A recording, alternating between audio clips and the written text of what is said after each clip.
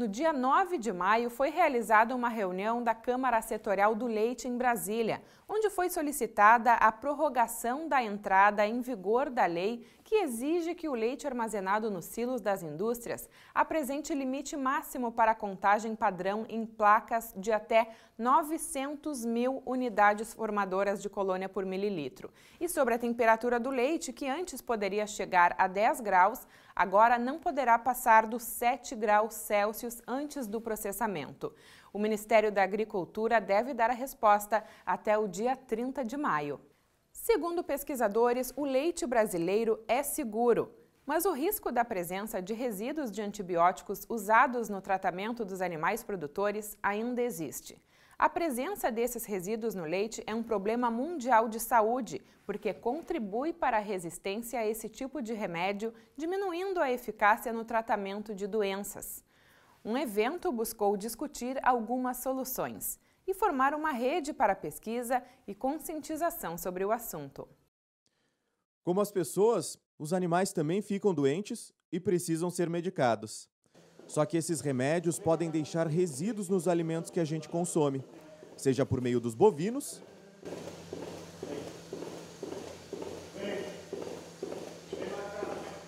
de aves, suínos e peixes e até da produção agrícola. O desenvolvimento de doenças resistentes ocorre naturalmente com o tempo, mas o uso excessivo e inadequado de medicamentos em pessoas e animais tem piorado o problema. A resistência de bactérias, fungos, parasitas e vírus aos chamados antimicrobianos é realidade em todos os países. Um relatório recente da Organização das Nações Unidas, a ONU, indica que doenças resistentes causam pelo menos 700 mil mortes ao ano. E esse número pode ser ainda maior. No cenário mais preocupante, o documento aponta 10 milhões de mortes, superando doenças como o câncer, e perdas em torno de 100 trilhões de dólares se nada for feito. O evento promovido na Embrapa discutiu soluções para reduzir os riscos da presença de resíduos no leite e deu início à rede Leite Seguro, unindo capacidades de mais de 30 instituições nacionais e internacionais de países como Brasil, Itália, França e Estados Unidos. O pesquisador da Embrapa, Marcelo Bonet, faz parte do Comitê Brasileiro de uma entidade internacional que estabelece os parâmetros do setor lácteo no mundo inteiro. Nós precisamos é, melhorar as boas práticas agropecuárias de produção, precisamos garantir que haja controle de venda, controle do uso e controle da aplicação adequada dos antibióticos. Né? Precisamos controlar a saúde animal, porque a saúde animal controlada ela pode a, a evitar o uso desnecessário de antibióticos. Precisamos ter dados, né? dados que advêm do campo, dados que advêm da pesquisa. Precisamos ter integração com o setor produtivo, o setor produtivo contribuir voluntariamente com base de dados. Já temos sinais positivos nesse, nesse sentido e precisamos então é, obter dados, transformá-los em informações e orientar a formação de política pública. No caso dos rebanhos leiteiros, a principal doença que leva ao uso de antimicrobianos é a mastite, uma infecção no úbere das vacas. O problema é responsável por cerca de 90% dos casos de leite com resíduos. Ela ocorre principalmente por deficiências do manejo de ordenha, das boas práticas agropecuárias do sistema de produção. Quando a mastite é uma mastite subclínica, uma mastite leve, a correção do manejo resolve o problema. Quando o animal já está com uma mastite clínica, então é necessário o uso de antibiótico. Esse leite com resíduo ele tem que ser descartado, ele não pode ser utilizado, ele não pode ir para o tanque nem para a indústria. Níveis de resíduos acima do limite máximo permitido no leite de uma única propriedade são capazes de comprometer um caminhão-tanque inteiro. Quando os testes na indústria indicam a presença de resíduos, mais de 10 mil reais em produção são jogados fora. Por lei, mesmo após o término do tratamento, o leite não deve ser coletado até a eliminação completa dos resíduos.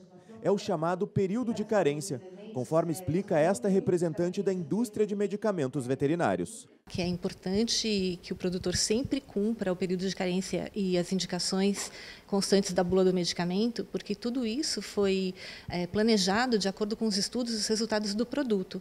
Então é importante que, para que a gente não tenha nenhuma violação de resíduo no leite, para que a gente tenha um leite seguro, que o produtor rural, ao utilizar o tratamento dos antimicrobianos, siga estritamente o que está na bula, em termos de dosagem, duração de tratamento e período de carência.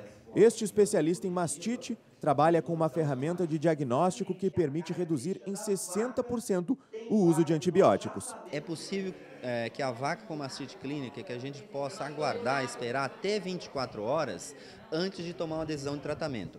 Durante essas 24 horas, que seria o, o período de tempo que a cultura na fazenda seria feita, e que daí, com base no resultado, é possível é, tomar a seguinte decisão: ou aguardar até a vaca se recuperar, isso seria por um período de cerca de 36 horas, ou não, é, que a vaca realmente precisa de um antibiótico. É uma tecnologia que ajuda muito o produtor a economizar e a reduzir o uso de antibióticos quando eles não são necessários. Em 2015, um plano global da Organização Mundial da Saúde estipulou a elaboração de planos nacionais para lidar com o problema. Para tratar, então, é, em cinco objetivos estratégicos, tanto a parte de conscientização do, da sociedade como um todo e dos profissionais de saúde em relação ao tema, é, para tratar de toda a questão dos monitoramentos e da pesquisa e da resistência, é, bem como a redução da, das infecções e a otimização do uso de antimicrobianos em animais. As ações têm como foco a saúde única, uma abordagem coordenada que reconhece a saúde humana, animal, alimentar e ambiental como uma só. Lá no campo, por enquanto, o consenso é a adoção de boas práticas o foco das nossas recomendações é em relação ao uso prudente e racional dos antimicrobianos em animais. Né? Então, basicamente, o que é isso? É adotar as boas práticas agropecuárias. Né? Então, com isso, a gente, com as boas práticas e o bem-estar animal, a gente previne as infecções e reduz a necessidade de uso de antimicrobianos em animais. No seminário, também foram discutidas estratégias para a detecção de resíduos. Estes testes fazem a identificação em minutos mas alguns ainda custam caro e não são acessíveis aos produtores. Por isso, os pesquisadores pretendem oferecer esse tipo de análise neste laboratório da Embrapa e estabelecer parcerias para desenvolvimento de novos métodos, unindo precisão, velocidade e baixo custo.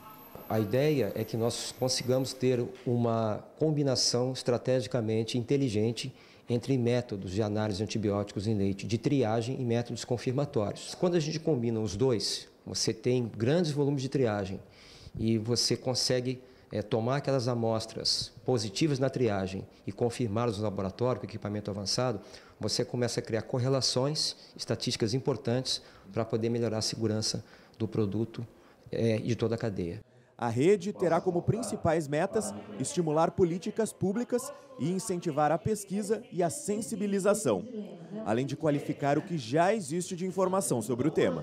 Especificamente no caso dos antibióticos, nós precisamos saber qual é a prevalência, qual é a incidência de ocorrência de leite ah, com antibióticos, com resíduos no país. Sabemos já, programas oficiais, que esses níveis são muito baixos, mais que 99% do leite brasileiro é seguro nesse aspecto mas nós nunca estamos satisfeitos. Queremos que esse nível chegue tão próximo de 100% quanto possível.